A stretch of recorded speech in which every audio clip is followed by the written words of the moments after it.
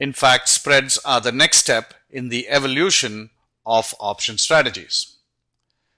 Spreads define your risk and your reward very clearly and they control your costs when you're using debit spreads and they control your risk when you use credit spreads. You deploy less capital, your adjustments are smaller, and there are several other advantages that we've covered in course 1. In this course, we're going to look at the basic of all the four spreads. This is the bull call spread. The bull call spread is an extension of the long call or the call buyer. When we bought a long call, our outlook was bullish. We had unlimited profits to the upside and limited losses to the downside. Now, the only disadvantage with a long call was that your losses could accumulate quite a bit if the stock goes against your expectation. So the way we can protect against this is by using a spread.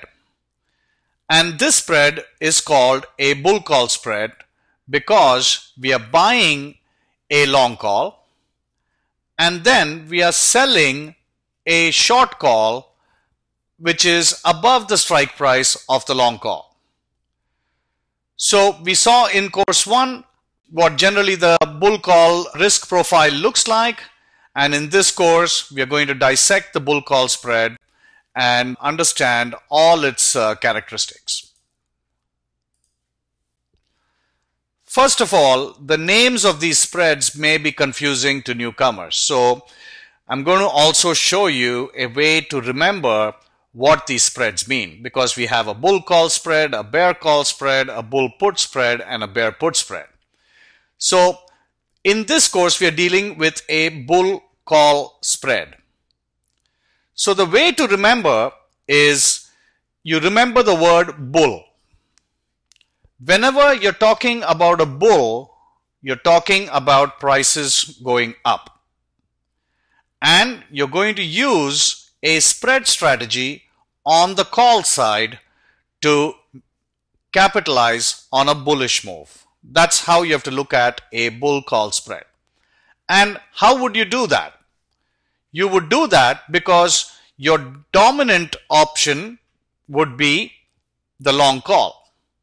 And so we have to have a long call that is the dominant option and then the risk limiting option or the cost reducing option is your short option, which would be the short call. So in that case, when we look at an option strategy, it may be helpful to first study the option strategies and in this case we are going to use IBM as an example and I come to the option chain for IBM and we are going to look at the July series. So let's say we were in general bullish on IBM. So the one option could be you outright you buy an at the money call and now we are looking at